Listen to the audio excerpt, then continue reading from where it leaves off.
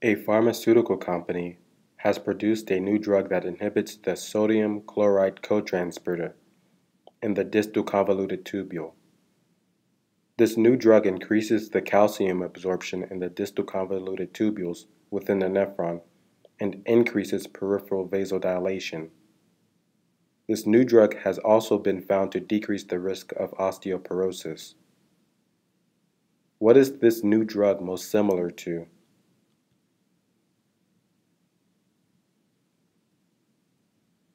Hydrochlorothiazide. Hydrochlorothiazide.